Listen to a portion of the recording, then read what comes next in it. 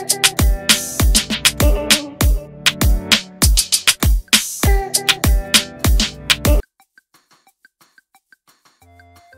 ียน่าเจอแซวหนุ่มข้างกายแหวนแหวนถึงกับลั่นแม่แทบช็อกคุณลูกเพิ่งเปิดตัวแฟน นางเอกสาวเดียน่าเจอแซวทั้งงานหนุ่มข้างกายแหวนแหวนถึงกับโพสต์แม่แทบช็อกคุณลูกที่เพิ่งเปิดตัวแฟน หลังจากนางเอกสาว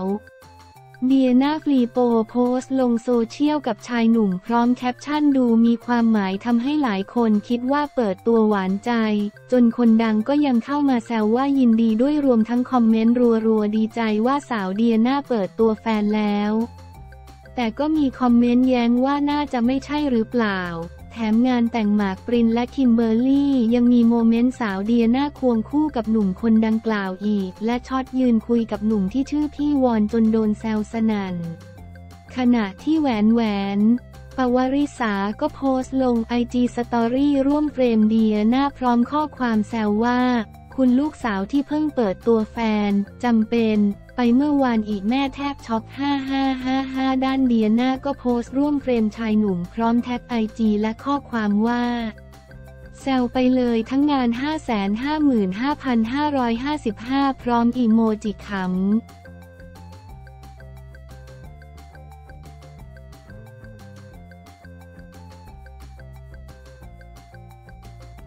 ในหลวงพระราชินีทรงบำเพ็ญพระราชกุศลเนื่องในวันอาสาฬหาบูชา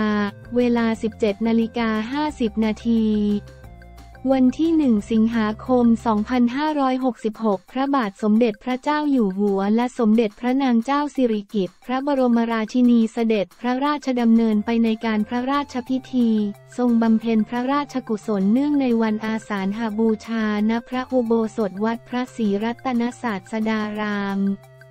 พระบรมมหาราชวังเมื่อเสด็จเข้าพระอุโบสถพระบาทสมเด็จพระเจ้าอยู่หัวทรงจุดเทียนพรรษาในตู้ด้านพระพุทธยอดฟ้าจุฬาโลกและด้านพระพุทธเลิศหล้านภาลัย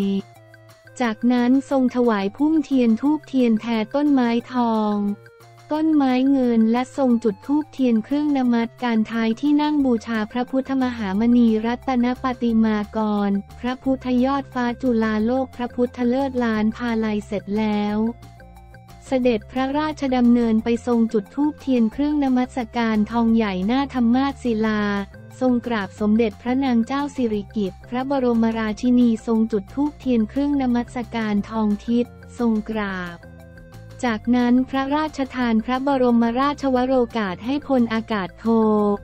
พักดีแสงชูโตรักษาราชการแทนผู้อำนวยการกองพระราชพิธีเฝ้าทูลละอองธุลี พระบาททูลเกล้าทูลกระหม่อมถวายเทียนชนวน ทรงจุดเทียนชนวนจากโคมไฟฟ้าแล้วพระราชทานแก่รักษาราชการแทนผู้อำนวยการกองพระราชพิธี เพื่อเชิญไปรักษาไว้สำหรับถวายเจ้าอาวาสพระอารามหลวงต่างๆนำไปจุดเทียนพรรษาที่ได้ทรงพระราชอุทิศไว้แล้วต่อจากนั้นทรงประเคนพุ่มเทียนแด่สมเด็จพระอริยวงศาคตยาน สมเด็จพระสังฆราชสกลมหาสังฆปรินายก สมเด็จพระราชาคณะพระราชาคณะพระปรริยนธรรมเก้าประโยค และพระภิกษุนาคหลวงจำนวน 20 รูป เสร็จแล้วทรงพระกรุณาโปรดเกล้าโปรดกระหม่อมให้ สมเด็จพระนางเจ้าสิริกิติ์พระบรมราชินีพระราชวงศ์องคมนตรี และข้าราชการชั้นผู้ใหญ่ทรงประเคนและประเคนพุ่มเทียนจนครบ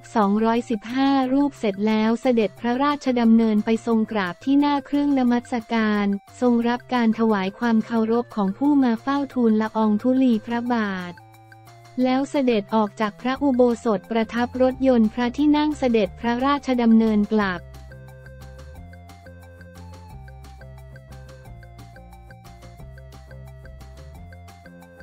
ปอดเหล็กเอธิโอเปียแชมป์ overall โคราชมาราธอน 2023 ปอดเหล็กเอธิโอเปียคว้าแชมป์ overall ชายหญิงโคราชมาราธอน 2023 presented by เดอะมอลล์เฉลิมฉลองครบรอบ 555 ปีเมืองนครราชสีมา วีรพงษ์วงสามนเทียนฟราวี นักวิ่งแกร่งไทยคว้ารางวัลพิเศษ overall คนไทย เดอะมอลล์ กรุ๊ปผนึกกำลังจังหวัดนครราชสีมา กองทัพบกกองทัพอากาศ และบริษัทเรซอัพเวิร์คจำกัด ร่วมเฉลิมฉลองครบรอบ 555 ปี เมืองนครราชสีมาประกาศความเป็น sport city จัดงานวิ่งมาราธอนมาตรฐานโลก World Athletic Road Race Label แห่งเมืองโคราช โคราชมาราธอน 2023 presented by เดอะมอลล์โคราชมาราธอน 2023 presented by เดอะมอลล์พร้อมประกาศยกระดับสู่เป้าหมาย Gold Label ในปี 2568 โดยสนามโคราชมาราธอนได้ชูไฮไลท์เส้นทางวิ่งผ่าน landmark ประวัติศาสตร์ของเมืองโคราช ภายใต้การรับรองมาตรฐานเส้นทางจากกรีธาโลก World Athletic ระเบิดศึกยิ่งใหญ่จากจุดปล่อยตัวอนุสาวรีย์เท้าสุรนารี มุ่งสู่เส้นชัยที่สวนน้ำบุงตาหลัว เฉลิมพระเกียรติรัชกาลที่ 9 จังหวัดนครราชสีมารวมเหล่านักวิ่งจากทั่วประเทศเข้าร่วมการแข่งขันกว่า 7,000 คนท้าทาย4 เส้นทางวิ่งสุดพิเศษที่สร้างความประทับใจ The Memorable Marathon นายสยามสิริมงคล ผู้ว่าราชการจังหวัดนครราชสีมา เป็นประธานเปิดการแข่งขันงานวิ่งมาราธอนมาตรฐานโลก World Athletic Road Race Label แห่งเมืองโคราช โคราชมาราธอน 2023 presented by เดอะมอลล์ โคราชมาราธอน 2023 presented by เดอะมอลล์ระเบิดศึกยิ่งใหญ่เมื่อวันที่ 12 พฤศจิกายน 2566 จากจุดปล่อยตัวอนุสาวรีย์เท้าสุรนารีมุ่งสู่เส้นชัยที่สวนน้ำบุงตาหลวง เฉลิมพระเกียรติรัชกาลที่ 9 จังหวัดนครราชสีมา รวมเหล่านักวิ่งจากทั่วประเทศเข้าร่วมการแข่งขันกว่า 7,000 คนท้าทาย 4 เส้นทางวิ่งสุดพิเศษที่สร้างความประทับใจ The Memorable Marathon โดยการแข่งขันครั้งนี้เดอะมอลล์ กรุ๊ปผนึกกำลังจังหวัดนครราชสีมากองทัพบกกองทัพอากาศและบริษัทเรซอัพเวิร์คจำกัด ร่วมเฉลิมฉลองครบรอบ 555 ปี เมืองนครราชสีมาประกาศความเป็น sport city จัดงานพร้อมประกาศยกระดับสู่เป้าหมาย Gold Label ในปี 2568 โดยชูไฮไลท์เส้นทางวิ่งผ่าน landmark ประวัติศาสตร์ของเมืองโคราช ภายใต้การรับรองมาตรฐานเส้นทางจากกรีธาโลก World Athletic highlight ของการแข่งขันในประเภทมาราธอน ระยะทาง 42.195 กิโลเมตร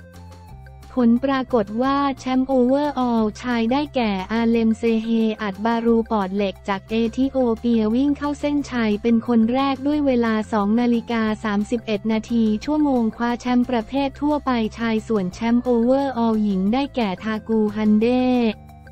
จอมอึดสาวแกร่งชาวเอธิโอเปียวิ่งเข้าเส้นชัยเป็นคนแรกทำเวลา 2 นาฬิกา 55 นาทีชั่วโมงคว้าแชมป์ประเภททั่วไปหญิง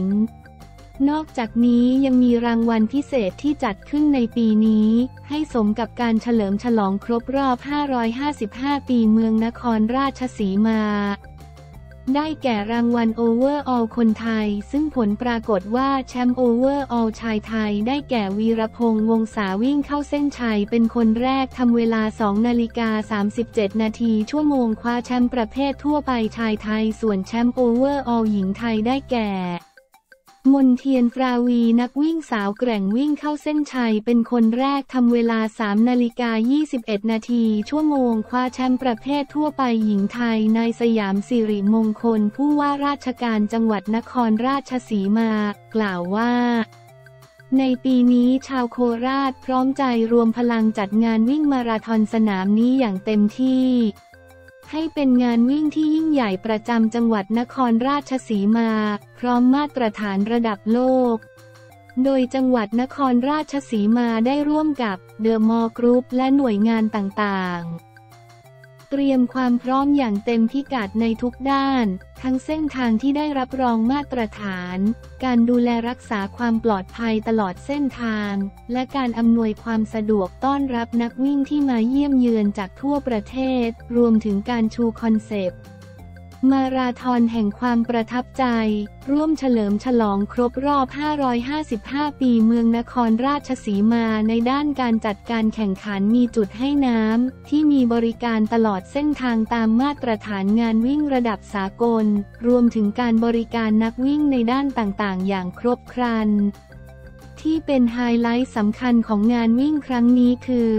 กองเชียร์วงดุริยางดีกรีระดับโลกที่มาร่วมเชียร์เป็นกำลังใจตลอดเส้นทางทำให้นักวิ่งทุกคนต่างพึงพอใจและมีความสุขที่ได้มาร่วมงาน จึงทำให้การจัดงานที่ผ่านมาถือว่าประสบความสำเร็จด้วยดี มีนักวิ่งทั้งในประเทศและต่างประเทศเข้าร่วมแข่งขันรวมทุกระยะทางเป็นจำนวนกว่า 7,000 คนนำมาซึ่งเม็ดเงินที่ไหลเข้าสู่จังหวัด และภูมิภาคอย่างมากมายมหาศาล สิ่งเหล่านี้แสดงให้เห็นว่าเราพร้อมแล้วที่จะยกระดับ มาตรฐานการจัดการแข่งขันให้เป็นงานวิ่งระดับ World Athletic Road Race Label ในระดับที่สูงขึ้นไปเรื่อย ๆ ในอนาคตพ่อเมืองโคราชกล่าวนางสาวดวงตาพงวิไล ผู้อำนวยการใหญ่การตลาดศูนย์การค้า บริษัทเดอะมอลล์กรุ๊ปจำกัด กล่าวว่าการจัดงาน โคราชมาราธอน 2023 presented by เดอะมอลล์ในปีนี้เดอะมอลล์กรุ๊ปได้ร่วมกับบริษัท Race Up Work จำกัดผู้เชี่ยวชาญด้านการจัดแข่งขันมาราธอนระดับประเทศ พันธมิตรทางธุรกิจและจังหวัดนครราชสีมารวมถึงหน่วยงานทุกภาคส่วนจัดงานวิ่งมาราธอนเปิดเมืองโคราชที่ได้รับ มาตรฐานระดับสากลภายใต้การรับรองเส้นทางจากสมาคมกรีฑาโลก โดยได้รวบรวมอัตลักษณ์และวัฒนธรรมอันโดดเด่นของจังหวัดมาผสมผสานกันเป็นส่วนหนึ่งของงานวิ่งมาราธอนในครั้งนี้ เส้นทางการวิ่งแต่ละจุด ผ่านจุดแลนด์มาร์คประวัติศาสตร์ของเมืองโคราช เริ่มต้นจุดปล่อยตัวที่อนุสาวรีย์เท้าสุรนารี และสิ้นสุดเส้นชัยที่สวนน้ำบุงตาหลัวเฉลิมพระเกียรติ รัชกาลที่ 9 ถือเป็นงานมาราธอนแห่งความประทับใจครั้งประวัติศาสตร์ครั้งหนึ่งของจังหวัดนครราชสีมา โดยรายได้ส่วนหนึ่งหลังหักค่าใช้จ่ายจำนวน 144,000 บาท มอบให้โรงพยาบาลมหาราชนครราชสีมา ซึ่งเป็นโรงพยาบาลประจำจังหวัดเพื่อจัดซื้ออุปกรณ์ทางการแพทย์ต่อไป นางสาวดวงตากล่าวทั้งนี้การจัดการแข่งขันวิ่ง โคราชมาราธอน 2023 presented by เดอะมอลล์ได้รับความร่วมมือจากทุกภาคส่วน รวมถึงชาวจังหวัดนครราชสีมาให้การต้อนรับ และร่วมเชียร์นักวิ่งตลอดเส้นทางการแข่งขัน สร้างสีสัน ความคึกคักและให้กำลังใจกับนักวิ่งอย่างอบอุ่นสำหรับข้อมูลการจัดการแข่งขันสามารถติดตามได้ที่ Facebook fanpage โคราชมาราธอนหรือเว็บไซต์ต์